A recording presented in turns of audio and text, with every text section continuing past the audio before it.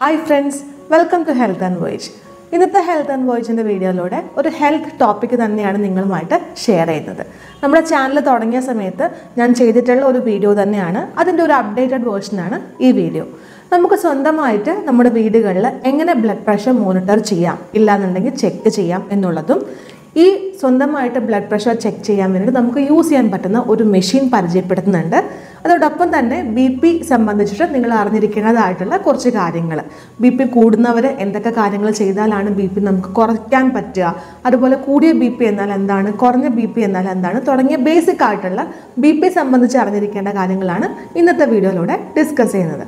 അപ്പോൾ നമുക്ക് വീഡിയോയിലേക്ക് പോവാം. സോ ആദ്യമായിട്ട് നമുക്ക് സ്വന്തമായിട്ട് വീടുകളിൽ ബി പി മെഷർ ചെയ്യുന്നത് എങ്ങനെയാണെന്നാണ് പറയാൻ പോകുന്നത്. നമുക്കറിയുന്ന കാര്യമാണ് കുറേ നാളുകൾക്ക് മുമ്പ് വരെ നമുക്ക് സ്വന്തമായിട്ട് ബി പി ചെക്ക് ചെയ്യാൻ പറ്റും എന്നൊരു ഓപ്ഷനൊന്നും ഇല്ലായിരുന്നു.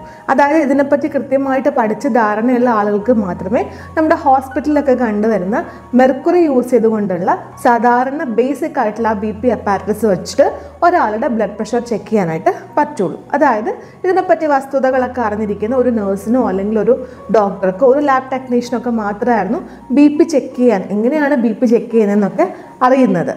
എന്നാൽ ഇപ്പോൾ നമുക്ക് കുറേ കാലം മാറി കുറേ അപ്ഡേറ്റ്സ് വന്നിട്ടുണ്ട്. അതായത് നമുക്ക് തന്നെ വീട്ടിൽ ഇതുപോലത്തെ ഒരു മെഷീൻ വാങ്ങിച്ച് വെക്കുകയാണെങ്കിൽ സ്വന്തമായിട്ട് വളരെ സിമ്പിളായിട്ട് ബി പി ചെക്ക് ചെയ്യാം എന്നുള്ള അവസ്ഥയിലേക്ക് വന്നിട്ടുണ്ട്. അതിപ്പോൾ ബി പി മാത്രമല്ല നമുക്ക് ഷുഗറും വീട്ടിൽ തന്നെ ചെക്ക് ചെയ്യാൻ വേണ്ടിയുള്ള മെഷീൻസ് ഒക്കെ അവൈലബിൾ ആണല്ലോ ഗ്ലൂക്കോമീറ്റേഴ്സ് അപ്പോൾ അതുപോലെ തന്നെയാണ് ബി പി ഓട്ടോമാറ്റിക്കലി ചെക്ക് ചെയ്തിട്ട് റിസൾട്ട്സ് അഥവാ റീഡിംഗ് നമ്മുടെ കൺമുന്നിൽ ഡിസ്പ്ലേയിൽ വരുന്ന automated blood pressure monitoring machines അപ്പോൾ രണ്ട് വർഷം മുന്നേ നമ്മുടെ ചാനലിൽ ഞാൻ ചെയ്തൊരു വീഡിയോ ഞങ്ങൾ പേഴ്സണൽ ആവശ്യത്തിന് വാങ്ങിയിട്ട് യൂസ് ചെയ്തിട്ടുള്ള ഒരു ബി പി അപ്പാറ്റസിന്റെ റിവ്യൂ ആയിരുന്നു. അത് ഡോക്ടർ മോർപ്പൻ എന്ന് പറയുന്ന കമ്പനിയുടെ ബി പി അപ്പാറ്റസിനെ പറ്റിയുള്ള ഇൻഫർമേഷൻസ് ആയിരുന്നു. അപ്പോൾ ഇന്ന് ഞാൻ നിങ്ങൾക്ക് പരിചയപ്പെടുത്താൻ പോകുന്നത് രണ്ട് വർഷം കൂടെ ഒക്കെ കഴിഞ്ഞപ്പോൾ നമുക്ക് കുറച്ചും കൂടെ പുതിയ രീതിയിലുള്ള ഒരു ബി പി ഓട്ടോമേറ്റഡ് മെഷീൻ കിട്ടിയിട്ടുണ്ട്. അതാണ് പരിചയപ്പെടുത്തുന്നത്. സോ ഈ കാണുന്നതാണ് നമ്മുടെ automated blood pressure monitoring machine അപ്പോൾ ഈ ബോക്സിൽ നിങ്ങൾക്ക് കാണുന്ന പോലെ തന്നെ ഈ കമ്പനിയുടെ പേര് നിസ്കോമെഡ് എന്നാണ്. സോ ബോക്സിനകത്ത് എഴുതിയിട്ടുണ്ട് Niscomed blood pressure monitoring machine fully automatic ആണെന്ന് എഴുതിയിട്ടുണ്ട്.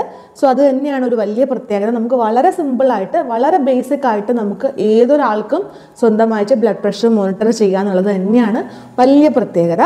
പിന്നെ ഈ മെഷീന് നമ്മുടെ പഴയ മെഷീൻസിനൊക്കെ വെച്ച് കമ്പയർ ചെയ്യുമ്പം കുറച്ചും കൂടെയൊക്കെ ലേറ്റസ്റ്റ് ആയിട്ടുള്ള അപ്ഡേറ്റ്സ് വന്നിട്ടുണ്ട്. അത് എന്തൊക്കെയാണെന്ന് ഞാനിത് യൂസ് ചെയ്ത് കാണിക്കുമ്പം പറയാം.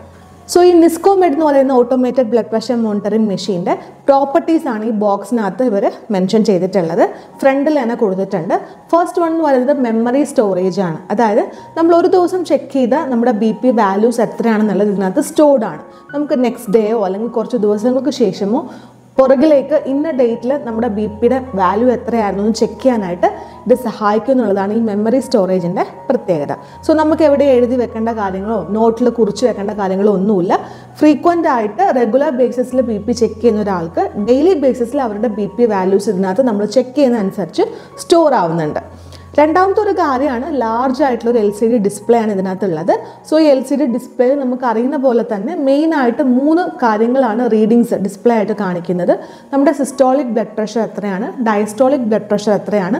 അതുപോലെ തന്നെ നമ്മുടെ പൾസ് റേറ്റ് എത്രയാണ്? ഈ മൂന്ന് കാര്യങ്ങളാണ് ഡിസ്പ്ലേയിൽ പ്രൊവൈഡ് ചെയ്യുന്നത്. പിന്നെ ഈ മെഷീന്റെ ഒരു അഡ്വാന്റേജ് ആയിട്ട് എനിക്ക് തോന്നിയത് പഴയ നമ്മുടെ കയ്യിലുള്ള മോർപ്പൻ പോലെയുള്ള കമ്പനീസിന്റെ മെഷീനിൽ ഇല്ലാത്തതായിട്ടുള്ള ഒരു പ്രോപ്പർട്ടിയാണ് ഇതിന്റെ ഡിസ്പ്ലേയിൽ വരുന്ന റീഡിങ്സ് അവർ വോയിസ് ആയിട്ട് സൗണ്ട് ആയിട്ടും കൂടെ പറയുന്നുണ്ട്. അതായത് അവർ സ്പീക്ക് ചെയ്യുന്നുണ്ട് ലൗഡ്ലി നമ്മുടെ സിസ്റ്റോളിക് ബി പി ഇത്രയാണ് ഡയസ്റ്റോളിക് ബി പി ഇത്രയാണെന്നും അത് മാത്രമല്ല നമ്മുടെ ഡബ്ല്യു എച്ച് ഒന്റെ ക്രൈറ്റീരിയ അനുസരിച്ച് ആ വാല്യൂസ് നോർമൽ ആണോ നോർമൽ ആണോ കൂടുതലാണോ കുറവാണോ എന്നുള്ള കാര്യങ്ങളും കൂടെ അവർ വോയിസ് ആയിട്ട് പറഞ്ഞു തരുന്നുണ്ട്. അപ്പോൾ അത് കുറച്ചും കൂടി ഒരു നല്ല കാര്യമായിട്ട് തോന്നി. അതാണ് ഇതിനകത്ത് വന്നിട്ടുള്ള ഒരു എക്സ്ട്രാ ഒരു പോയിന്റ് എന്ന് പറയുന്നത്. പഴയ മെഷീൻസിനെ വെച്ച് നോക്കുമ്പം. ഏറ്റവും ഇമ്പോർട്ടന്റ് ആയിട്ട് ഇതിനകത്ത് പറയാനുള്ള കാര്യം എന്ന് പറഞ്ഞാൽ ഇതിനകത്ത് ഒരു യു എസ് പി കണക്ടിവിറ്റിയുടെ സപ്പോർട്ടും കൂടെ ഉണ്ട് എന്നുള്ളതാണ്.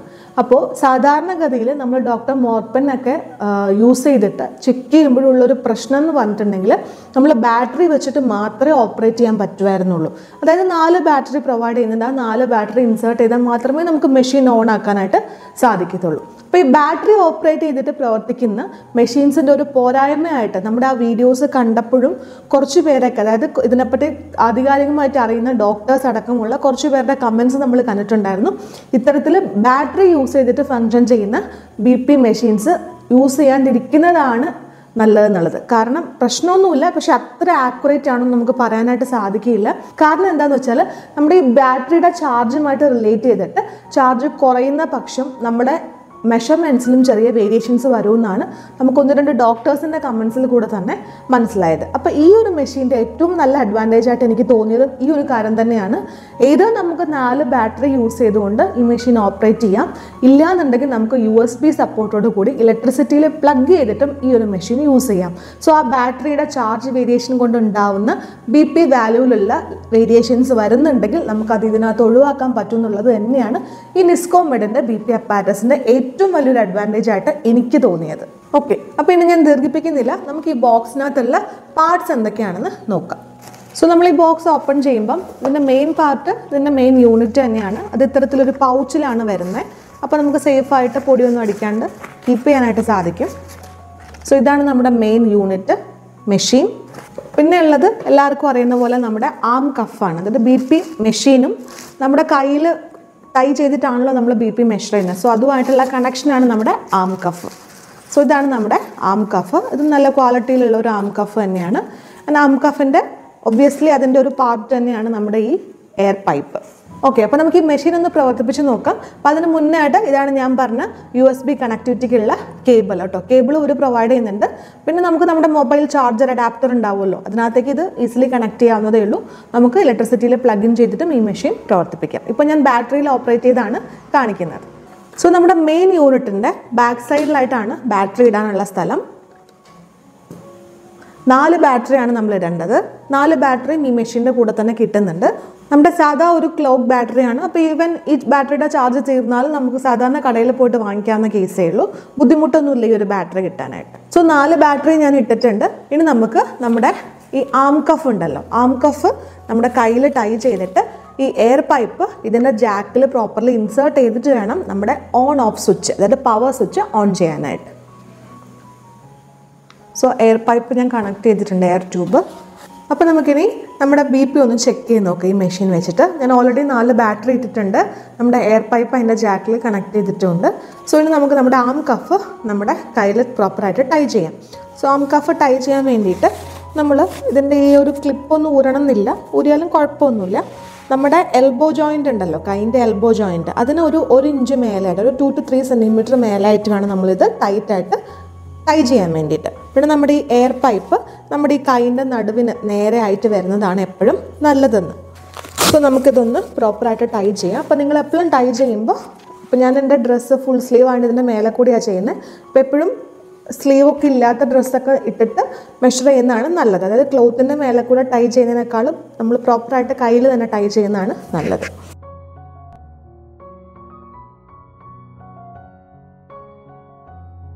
ഇപ്പം ഞാൻ ടൈ ചെയ്തിട്ടുണ്ട്. നിങ്ങൾക്ക് ചിലപ്പോൾ ആദ്യമൊക്കെ ട്രൈ ചെയ്യുമ്പോൾ ബുദ്ധിമുട്ടായിട്ട് തോന്നുമായിരിക്കും. അങ്ങനെ ഉണ്ടെങ്കിൽ വേറൊരാളുടെ സഹായത്തോടു കൂടെ ഇത് ടൈ ചെയ്യാം കേട്ടോ. സോ ഇനി നമുക്ക് നമ്മുടെ ഓൺ ഓഫ് ബട്ടൺ പ്രസ് ചെയ്യാം. അതായത് പവർ ബട്ടൺ ഓൺ ആക്കാം. സോ നമ്മൾ മൂവ് ചെയ്യരുത് എന്ന് ഇവർ അനൗൺസ് ചെയ്യുന്നുണ്ട്. അതായത് ഇരിക്കുന്ന പൊസിഷനിൽ നിന്ന് റിലാക്സ് ആയിട്ട് ഇരിക്കുക. കാരണം ഇപ്പം ഈ എയർ പൈപ്പിൽ കൂടെ എയർ വന്നിട്ട് നമ്മുടെ കഫ് ഇൻഫ്ലേറ്റ് ചെയ്തുകൊണ്ടിരിക്കുകയാണ്. സോ മാക്സിമം എയർ വന്ന് ഇൻഫ്ലേറ്റ് ആയിട്ട് പിന്നെയല്ലേ പതുക്കെ loose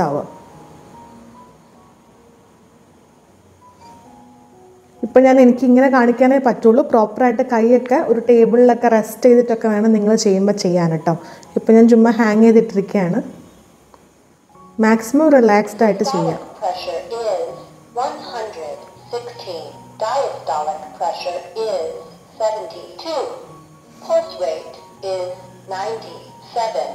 According to the World Health Organization standard, your blood pressure level is normal. Okay അപ്പോൾ നമുക്കിവിടെ റീഡിംഗ് കാണുന്നുണ്ട്. എന്റെ systolic blood pressure one one six ആണ്. ഡയസ്റ്റോളിക് സെവന്റി ടു ആണ്. ആൻഡ് പൾസ് റേറ്റ് വന്നിട്ട് നയന്റി സെവൻ ആണ്.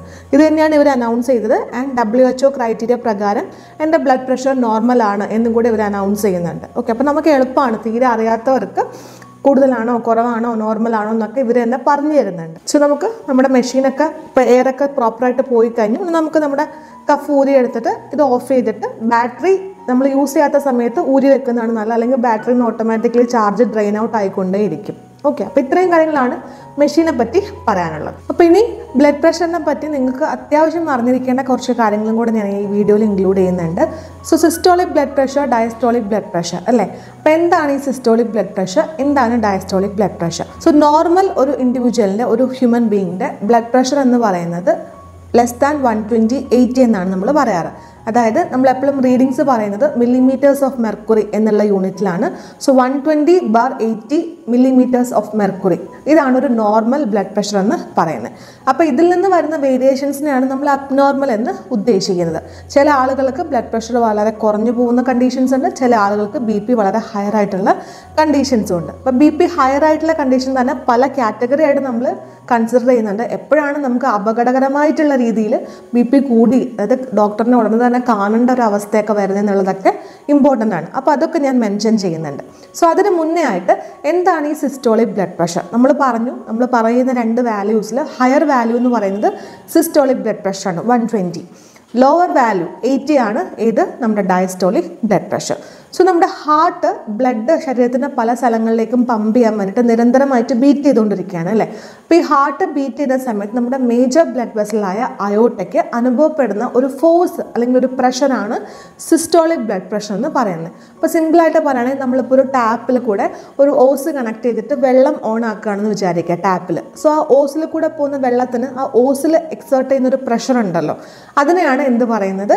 സിസ്റ്റോളിക് ബ്ലഡ് പ്രഷർ എന്ന് പറയുന്നത്. അപ്പോൾ ഏറ്റവും സിമ്പിളായിട്ട് പറയുകയാണെങ്കിൽ നമ്മൾ ആ ഓസിന്റെ അറ്റത്ത് നമ്മളിങ്ങനെ ക്ലോസ് ചെയ്ത് പിടിക്കുകയാണെങ്കിൽ ആ ടാപ്പിൽ കണക്ട് ചെയ്ത ഭാഗം ഊരിപ്പോരുന്നതായിട്ട് കാണാം. സോ പ്രഷർ കൂടിയിട്ടാണ് അത് ഡിറ്റാച്ച് ചെയ്ത് വരുന്നത്. സോ ഇതുപോലെ തന്നെയാണ് നമ്മുടെ ഹാർട്ട് ബീറ്റ് ചെയ്യുന്ന സമയത്ത് മേജർ ബ്ലഡ് വെസലായ അയോട്ടയ്ക്ക് ഫീൽ ചെയ്യുന്ന ആ ഒരു ഫോഴ്സിനെയാണ് നമ്മൾ സിസ്റ്റോളിക് ബി പി എന്ന് പറയുന്നത്. സോ ഡയസ്റ്റോളിക് ബി പി എന്ന് പറയുന്നത് ഈ ഹാർട്ട് ബീറ്റിങ്ങിന്റെ ഇടയ്ക്ക് ഹാർട്ട് റെസ്റ്റ് ചെയ്യുന്ന സമയമുണ്ട്. ഈ ഡ്യൂറിങ് ദ റെസ്റ്റ് ടൈം ഈ അയോട്ട എന്ന് പറയുന്ന മേജർ ബ്ലഡ് വെസൽസിന് എക്സ്പീരിയൻസ് ചെയ്യുന്ന ഫോഴ്സിനെയാണ് ഡയസ്റ്റോളിക് ബ്ലഡ് പ്രഷർ എന്ന് പറയുന്നത്. ഇതാണ് ലോവർ വാല്യൂ ഇനി നമുക്ക് ബ്ലഡ് പ്രഷറിന്റെ കുറച്ച് ക്രൈറ്റീരിയാസ് നോക്കാം. നോർമൽ ഞാൻ പറഞ്ഞു systolic less than one twenty diastolic less than eighty ആണ് ഒരു നോർമൽ ബ്ലഡ് പ്രഷർ എന്നതുകൊണ്ട് ഉദ്ദേശിക്കുന്നത്. ഇനി എലിവേറ്റഡ് ബ്ലഡ് പ്രഷർ എന്ന് നമ്മൾ മെൻഷൻ ചെയ്യുകയാണെങ്കിൽ അത് ഉദ്ദേശിക്കുന്നത് പേഷ്യന്റിന്റെ systolic blood pressure is between one twenty and one twenty nine and diastolic blood pressure is less than eighty ഇതിനെയാണ് നമ്മൾ എലിവേറ്റഡ് ബി പി എന്ന് ഉദ്ദേശിക്കുന്നത്.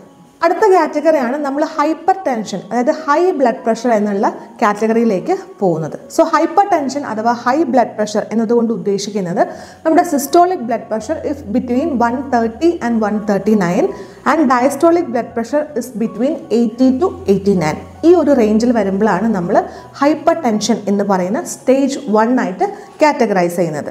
ഇനി ഹൈ ബ്ലഡ് പ്രഷർ അതായത് ഹൈപ്പർ ടെൻഷൻ തന്നെ സ്റ്റേജ് ടു കുറച്ചും കൂടെ കൂടിയിട്ടുള്ള അവസ്ഥ. ഇതിനകത്ത് നമ്മുടെ സിസ്റ്റോളിക് ബ്ലഡ് പ്രഷർ വൺ ഫോർട്ടിയോ അല്ലെങ്കിൽ വൺ ഫോർട്ടീനേക്കാളും കൂടുതലായിരിക്കും.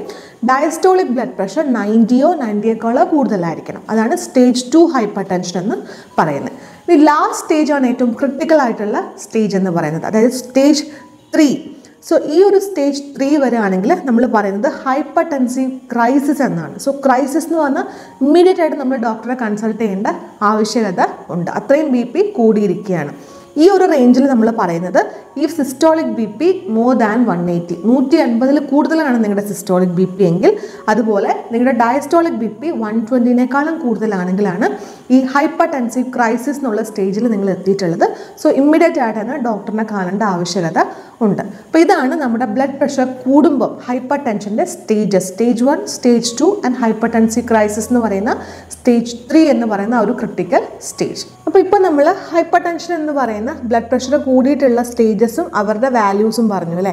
അപ്പോൾ ഈ ഹൈപ്പർ ടെൻഷൻ എന്ന് പറയുന്ന സ്റ്റേജ് നിങ്ങൾ എത്തിപ്പെടാണ്ടിരിക്കാൻ വേണ്ടിയിട്ട് നമുക്ക് ശ്രദ്ധിക്കാൻ പറ്റുന്ന കുറച്ച് കാര്യങ്ങൾ കൂടെ പറഞ്ഞിട്ട് ഞാൻ ഈ വീഡിയോ എൻഡ് ചെയ്യാണ്. സോ ബ്ലഡ് പ്രഷർ കൂടിയ അവസ്ഥ. ഒരുപാട് പേരിൽ ഇപ്പോൾ കണ്ടുവരുന്നുണ്ട് പണ്ടൊക്കെ എന്ന് പറഞ്ഞാൽ വളരെ പ്രായം കൂടിയിട്ടുള്ള ആളുകൾക്ക് മാത്രമായിരുന്നു ബി പിയും ഡയബറ്റീസും പോലുള്ള പ്രശ്നങ്ങളുള്ളത്. പക്ഷേ ഇപ്പം സാധാരണ യുവജനങ്ങൾക്ക് പോലും ബി പിയും ഹൈപ്പർ ടെൻഷനും അതുപോലെ തന്നെ ഷുഗറും ഒക്കെ കണ്ടുവരുന്നുണ്ട് കൊളസ്ട്രോളിന്റെ പ്രശ്നങ്ങളൊക്കെ. സോ ബി പി കൂടാണ്ടിരിക്കാൻ വേണ്ടിയിട്ട് നോർമൽ ബി പി മെയിന്റെയിൻ ചെയ്യാൻ വേണ്ടിയിട്ട് നമുക്ക് ചെയ്യാൻ പറ്റുന്ന കാര്യങ്ങൾ എന്തൊക്കെയാണെന്നാണ് പറയുന്നത്. അല്ലാന്നുണ്ടെങ്കിൽ ബി പി കൂടിയിട്ടുള്ളവർ ശ്രദ്ധിക്കേണ്ട കാര്യങ്ങൾ. വീണ്ടും ഹൈ റിസ്കി ആയിട്ടുള്ള സ്റ്റേജിലേക്കൊക്കെ പോകാണ്ടിരിക്കാൻ വേണ്ടിയിട്ട് എന്തൊക്കെ കാര്യങ്ങളാണ് ശ്രദ്ധിക്കേണ്ടത്? ഒന്നാമതായിട്ട് നമുക്ക് എല്ലാം അറിയുന്ന കാര്യമാണ് നമ്മുടെ ബ്ലഡ് പ്രഷർ കൂട്ടുന്നതും ഉപ്പിന്റെ ഉപയോഗവും തമ്മിൽ ബന്ധമുണ്ട്. പണ്ടോട്ടേ ഡോക്ടേഴ്സ് പറയുന്ന കേൾക്കാം ബ്ലഡ് പ്രഷർ കൂടിയിട്ട് ബി പി കൂടിയിട്ടുള്ളവരോട് ഉപ്പിന്റെ അളവ് കുറയ്ക്കണം എന്നല്ലേ സോ ഈ ഒരു ഉപ്പ് നമുക്ക് വളരെ ഇമ്പോർട്ടന്റ് ആയിട്ട് നമ്മൾ വിചാരിച്ചിട്ടുണ്ടെങ്കിൽ കുറയ്ക്കാൻ പറ്റുന്ന കാര്യമാണ്. നോർമലി നമ്മുടെ ഫുഡിലൊക്കെ ഉപ്പുണ്ട്. സോ ഒരു എയ്റ്റ് ഗ്രാം അല്ലെങ്കിൽ ഒരു സെവൻ ഗ്രാം റേഞ്ചിൽ നമ്മൾ ഡെയിലി ഒരാളൊരു ഉപ്പ് യൂസ് ചെയ്യുന്നുണ്ടെന്ന് പറയാം. സോ ഇതിന്റെ അളവ് ഒരു കുറച്ചിട്ട് നമ്മളൊരു ടു ഗ്രാം ത്രീ ഗ്രാം ലെവലിലേക്ക് നമുക്ക് കുറച്ച് കൊണ്ടുവരാൻ പറ്റുമെങ്കിൽ വളരെ നല്ല കാര്യമാണ്. നമുക്ക് ബി പി കുറയ്ക്കാനായിട്ട് വളരെയധികം സഹായിക്കുന്നുണ്ട്. രണ്ടാമത്തെ പോയിന്റാണ് നമ്മുടെ ഭക്ഷണത്തിൽ. ഉപ്പ് പോലെ തന്നെ ഇമ്പോർട്ടന്റ് ആണ്. കൊഴുപ്പ് വളരെയധികം കൂടിയിട്ടുള്ള ഭക്ഷണങ്ങൾ നമ്മൾ കഴിവതും ഒഴിവാക്കുക. കാരണം കൊഴുപ്പ് അടിഞ്ഞു കൂടുന്നതനുസരിച്ച് നമ്മുടെ ഹാർട്ടിന് കൂടുതൽ ബ്ലഡ് പമ്പ് ചെയ്യേണ്ടതായിട്ട് വരും. ഹാർട്ടിന്റെ ബ്ലഡ് ഫ്ലോയ്ക്ക് പ്രോപ്പറായിട്ട് ഫ്ലോ ചെയ്യാൻ ഈസിലി ഫ്ലോ ചെയ്യാനുള്ള ബുദ്ധിമുട്ടുകൾ വരും കൊളസ്ട്രോൾ ഒക്കെ അവിടെ ഇവിടെ ആയിട്ട് അടിഞ്ഞു കൂടുമ്പോൾ. അതുകൊണ്ട് തന്നെ ഇത് മൂലവും നമുക്ക് ബി പി കൂടാനുള്ള ചാൻസസ് ഉണ്ട്. സോ നമ്മൾ കഴിക്കുന്ന ഭക്ഷണത്തിൽ കൊഴുപ്പിന്റെ അളവ് വളരെയധികം കുറയ്ക്കാനായിട്ട് ശ്രദ്ധിക്കുക. നമ്മൾ ബേക്കറി ഐറ്റംസും വറുത്തതും പൊരിച്ചതുമായിട്ടുള്ള സാധനങ്ങളും ക്യാൻഡിൽ അതായത് നമുക്ക് റെഡി ടു ഈറ്റ് ആയിട്ട് കിട്ടുന്ന ഫുഡ് ഐറ്റംസ് ഒക്കെ ഉണ്ടല്ലോ. ഇതിനകത്തൊക്കെ ഒരുപാട് ട്രാൻസ് ഫാറ്റ് ഉണ്ടാവും. ഇങ്ങനത്തെ സാധനങ്ങളൊക്കെ കഴിവതും ഒഴിവാക്കുകയാണെങ്കിൽ കൊഴുപ്പ് നമ്മുടെ ശരീരത്തിൽ അമിതമായിട്ട് അടിഞ്ഞു കൂടുന്നത് തടയാനും അതുവഴി രക്തസമ്മർദ്ദം കുറയ്ക്കാനും നമുക്ക് സഹായിക്കും. മൂന്നാമത്തെ കാര്യമാണ് നമ്മൾ പ്രോപ്പർ ആയിട്ടുള്ള ഒരു ബോഡി വെയിറ്റ് മെയിന്റെയിൻ ചെയ്യുക എന്നുള്ളത്. എപ്പോഴും പൊണ്ണത്തടി ഉള്ളവർക്ക് അല്ലെങ്കിൽ ഒബീസിറ്റി ഒക്കെ ഉള്ളവർക്ക് രക്തസമ്മർദ്ദവും അമിതമായിട്ട് കണ്ടുവരുന്നുണ്ട്. സോ പ്രോപ്പറായിട്ട് നമുക്കൊരു ഐഡിയൽ ഹ്യൂമൻ ബീങ്ങിന് വേണ്ട വെയിറ്റ് എത്രയാണെന്ന് കാൽക്കുലേറ്റ് ചെയ്യുന്നത് നമ്മൾ ബോഡി മാസ് ഇൻഡെക്സ് എന്ന് പറയും B M I so B M I എങ്ങനെ കാൽക്കുലേറ്റ് ചെയ്യാം എന്നുള്ളതിനെ പറ്റി ഡീറ്റെയിൽ ആയിട്ടൊരു വീഡിയോ ഞാൻ ചെയ്തിട്ടുണ്ട്. അത് കാണാതെ അത് പോയിട്ട് കണ്ടു നോക്കുക സോ അതനുസരിച്ച് നിങ്ങളുടെ ഹൈറ്റും വെയിറ്റും മാത്രം മെൻഷൻ ചെയ്യുകയാണെങ്കിൽ ഒരു സിമ്പിൾ ഇക്വേഷൻ വഴി നിങ്ങളുടെ ബി എം ഐ എത്രയാണെന്ന് നമുക്ക് ചെക്ക് ചെയ്യാൻ പറ്റും. So B M I ideally ഒരു അഡൽട്ടിന് ഇരുപത്തഞ്ചിൽ താഴെ ആയിരിക്കണം വേണ്ടത്. ഇരുപത്തഞ്ചിന് മേലെയാണെങ്കിൽ റിസ്ക്കിയാണ് നിങ്ങൾക്ക് ഈ പറഞ്ഞ രീതിയിലുള്ള അമിതമായിട്ടുള്ള തടിയുണ്ട് പൊണ്ണത്തടി ഉണ്ടെന്നാണ് സൂചിപ്പിക്കുന്നത്. ഇതുവഴി രക്തസമ്മർദ്ദം കൂടാനുള്ള ചാൻസസും കൂടുതലാണ്. അതുകൊണ്ട് തന്നെ എപ്പോഴും ഒരു ideal weight B M I ഇരുപത്തഞ്ചിൽ താഴെ എന്നുള്ള ഒരു വാല്യൂ മെയിന്റെയിൻ ചെയ്യാൻ വേണ്ടിയിട്ട് ഹൈറ്റിനനുസരിച്ചുള്ള ഒരു ഐഡിയൽ വെയിറ്റ് മെയിന്റെയിൻ ചെയ്യാനായിട്ട് ശ്രദ്ധിക്കുക.